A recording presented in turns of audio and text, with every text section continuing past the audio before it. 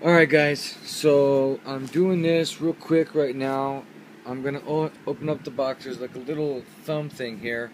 So you can lift it up and it breaks the seal on it so that people, well, Apple or whoever you buy it from, will know that you opened it. Um, so there's a little seal right around here. So I just kind of got settled in and read up a little bit about it and seeing what I need to do. So the first thing I need to do is to get this little, wow, this thing's light. It's very light. I have to see because I have a uh, the newer Airport Extreme router that has the uh, four or six or eight antennas. I don't remember. It's the one that came out last year. It's the latest version of it.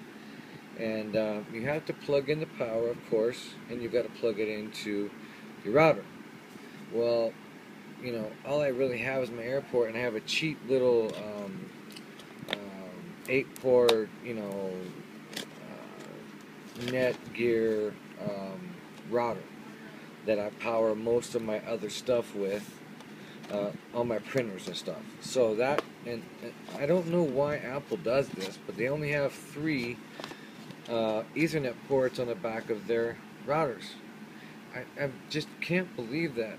I mean, everybody else has at least five or eight, plus, you know, the main input one from your modem. But Apple only has one input from the modem and has three outputs. I don't know why they think that, you know, everybody knows that LAN is 100 megabits. Um, I understand that N, wireless N, is 120, 40, I forgot. Just not into tech specs right tonight. Um, so I'm just going off on the hip right now. So I got to figure out how I'm going to put this in because I got my printers and stuff plugged into the other one. So I guess just for the sake of testing out, I'm just going to have to unplug that one and do it. So I'm going to do it right now and I will be right back with you guys. So here's the main unit I got to plug in. Uh, Ethernet cable, there's an Ethernet cable it supplies with and the charger here are the bulbs. So I'll let you kind of see these things. Wow, this thing's heavy. It is very, very heavy. I don't know exactly what it says. 600 lumens. Um, basically, uh, uh, 50. And everybody has said, people have said, ah, it's not that bright. A lot of people, other people have said, they're bright enough. So, I don't know. I've looked at a lot of different things on YouTube. Uh, you'll probably have to make your own judgment. You know, mileage may vary.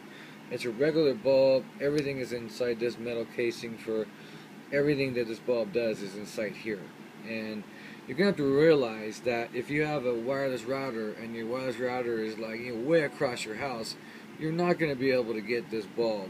Uh, one thing that I learned that I was told that, or I saw in, in a video, is that was complaints is that it just doesn't act, you know, when you slide it to do like a dim or you ask it to change a color, uh, sometimes it doesn't respond, sometimes it just slow response.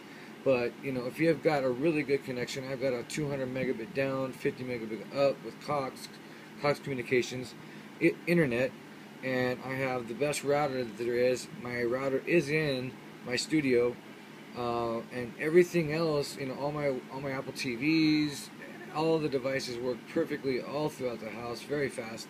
So I don't see why this won't be able to, you know, hook up to the base station here.